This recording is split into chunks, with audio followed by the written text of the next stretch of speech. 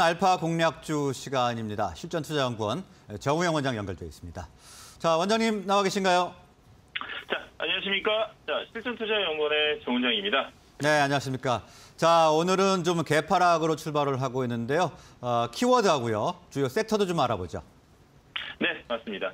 자, 어, 미 증시 약세, 어, 전 종목의 이 미, 어, 미 증시 어, 전체적으로 약세 흐름으로 넘어온 후에 우리나라는 개파락 출발의 양봉을 끄집어내고는 있으나 여러분들 지금 현재 어, 시장의 이 기관과 외국인의 수급 포지션을 보게 되면 자 시작과 동시에 외국인 기관은 모두 다 양매도 포지션을 좀 잡고 있습니다.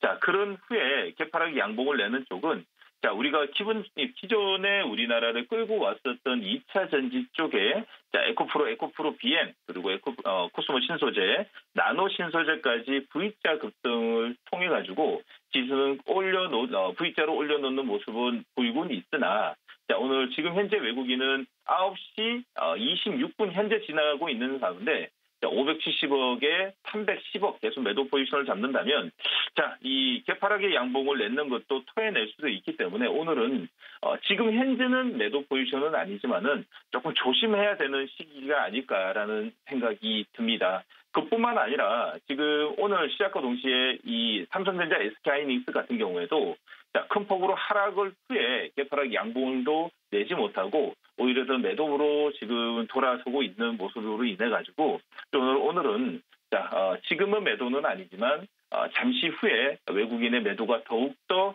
가속화되는 시기가 온다면 여러분들도 오늘 어느 정도는 어, 이 차익 매도를 하고 그리고 또 내일을 좀 기다려야 되지 않을까라는 또 생각이 듭니다. 자 그러면 오늘 전체적인 시장에 코스닥에는 지금 현재 2차 전지에 기존에 좋았었던 대형주 위주로 물량이 들어온다면 그러면 다른 섹터는 뭐가 있느냐 좀 특징적인 걸 알아보도록 하겠습니다. 자, 오늘 시작과 동시에 러시아의 어, 러시아, 우크라이나의 이 지적성, 지적학적 리스크로 인해 가지고 곡물 사료가 오늘 갭상승을 내면서 큰 폭으로 오르는 현상을 좀 보이고 있고, 자 철강이 오른 뒤에도 어제도 제가 말씀드렸던 철강 뒤에는 이제 따라오는 거는 이제는 어, 이 구리 쪽을 좀 봐야 된다고 이야기 드렸는데, 자 구리 쪽도 좀 올라오는 모습을 보이고 있고, 자, 어, 야 작년부터 비슷한 현상을 좀 보이고 있었던 어, 이좀 어, 시속 게임을 좀 하고 있는 쪽이 지수가 내리게 되면 오히려 더 조선주가 좀 움직이는 현상을 좀 보이고 있었다. 그 이유는 여러 가지 에너지 대책 그리고 인프라 투자가 이 어, 에너지 관련돼 있는 쪽에 투자가 오히려 더 이제 조선, 조선 기자재 쪽이 아니었냐라고 좀 볼 수 있고, 자, 그런 후에는 어, 전체적으로 이 제일 오늘 강한 섹터는 장기적 테마로 좀 볼 수 있는 섹터가 로봇입니다. 자, 시작과 동시에 이 어, 곡물 사료 쪽은 갭상승 음봉에다가 반대로 개파락의 양봉을 내는 쪽은 기존에도 좋았던 우리나라의 2차 전지 소재가 올라온 반면에 섹터로는 오히려 더 로봇 종 어, 로봇 섹터가 오늘은 전체적인 양봉을 끄집어내면서 지수의 이 하나의 상승을 좀 견인을 좀 하고는 있습니다. 자 그리고 그리고 어, 우리가 이 좀 더 유심히 좀 봐야 되는 쪽은 업종 섹터이라고 좀 볼 수 있는데 업속 센터 같은 경우는 기존에 이, 이 예금 금리, 자 예금의 이 나라에서 어느 정도 질적으로 인해 가지고 자 은행주와 그에 관련돼 있는 예금 보험 쪽의 관련 종목들이 이제 조금씩 이제 다시 한 번 더 V자로 좀 내는 모습을 좀 보이고 있습니다. 그 외에는 오늘은 전체적으로 개별주 현상을 좀 보이고 있는 하루이기 때문에 차분하게 시장만 조금 지켜보면서 시장을 좀 보자라는 관점을 드리도록 하겠습니다.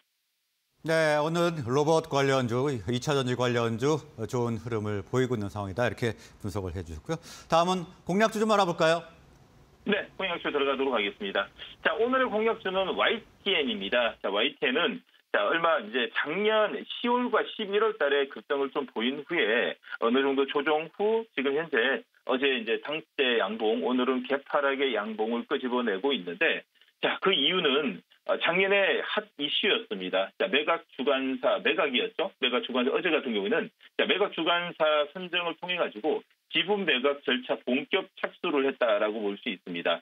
자, 그러면 YTN은 1대 주주가 한전 KDN이 지분이 21.43% 그리고 4대 주주인 한국마사회가 9.52%총 30.95%를 어, 이번에 매각할 예정인데 자, 어제 나온 이야기입니다. 자, YTN 인수에는 동아기업, 농심, 한세시럽이 등 어, 다양한 중견 기업들이 관심을 보이고 어, 보이고 있으며 매각 절차는 순조롭게 전망이 된다는 뉴스와 함께 자, 어제 장대 열망을 냈고 특히나 오늘 같은 날 어, 추가적인 상승을 좀 보일 수 있었으나 아, 해외에서 좀 안 좋은 어, 이 증시 흐름으로 인해 가지고 오늘 개파락이지만 오히려 더 수급이 들어오면서 개파락의 양복을 내고 있습니다. 자 오히려 더 장중에도 어, 오늘 같은 날은 장중에도 접근이 좀 가능할 것 같고 종가 기준으로는 만약에 어제의 종가를 뛰어넘는 뛰어넘는 장대 어, 양봉이 형성된다면 종가 기준으로는 여러분들 꼭 관심을 갖고 너무 overnight 할 수 있는 종목으로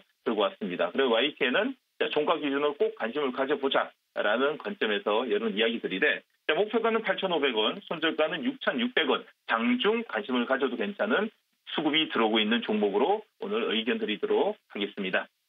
네, 공략주로 YTN 분석을 해 주셨는데요. 종가 기준으로 공략을 해보자 말씀을 해 주셨고, 목표가는 8,500원, 손절가 6,600원 제시를 해 주셨습니다. 자, 오늘 말씀 여기까지 듣겠습니다. 고맙습니다. 고맙습니다.